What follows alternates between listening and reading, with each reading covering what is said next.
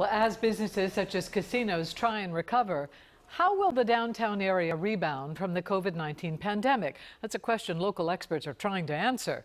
And WJZ's Live Stetson Miller tells us what those leaders say that the future may hold. Stetson?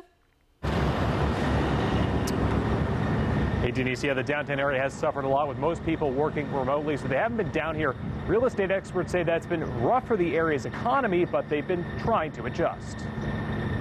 It's, it's really tough. There's a lot of uncertainty. It's been an unusually quiet year in the heart of the city, with many offices shut down to prevent the spread of COVID 19.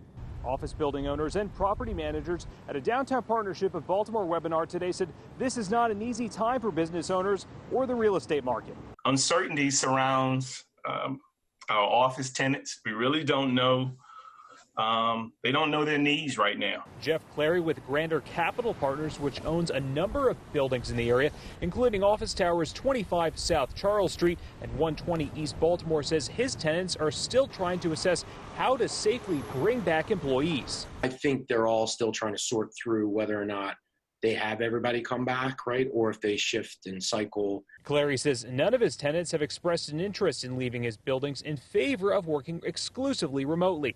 He says he thinks it's beneficial for the local economy and workers themselves to keep offices downtown open when it's safe to return.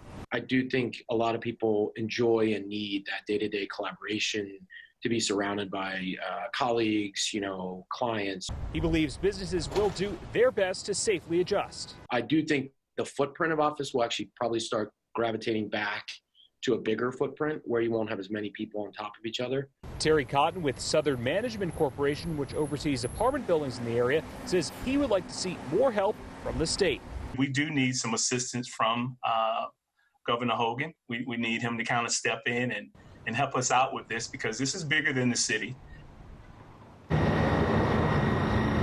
Those experts said that there is still a tough road ahead for the downtown economy, but they are optimistic. Well, have a President Street Stetson Miller for WJZ.